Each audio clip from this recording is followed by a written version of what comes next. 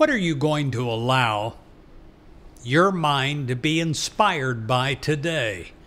Are you going to be inspired by the things you see or discouraged by the things you see? Or are you going to go higher? If your inspiration only comes from situations or circumstances, your thinking may be in error. Let us remember Jesus' instructions. He says, Do not judge by appearances, but judge with right judgment. We use right judgment in all that pertains to us when we follow the inspiration of divine ideas. That is a heavenly idea that is not based on what you're seeing with human eyes.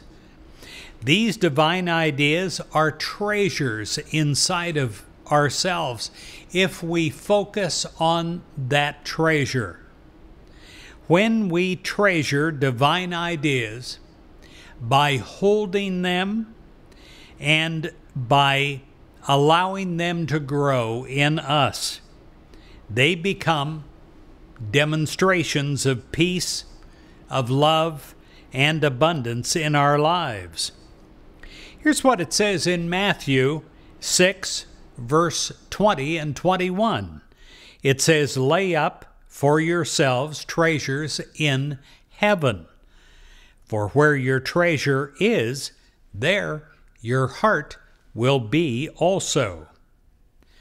Well, the light of Christ within is inspiration that we can receive. We can have a heaven on earth when we live in these divine ideas about our potential, about what we can do, who we really are.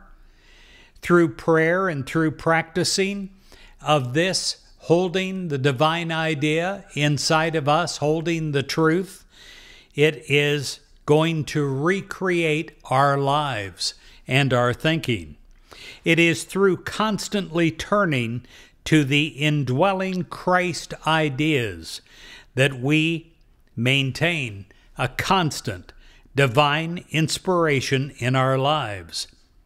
We will think calmly and will act wisely because we will be illumined and inspired, and we will be not only good for ourselves in doing this, but good for everyone that comes in contact with us.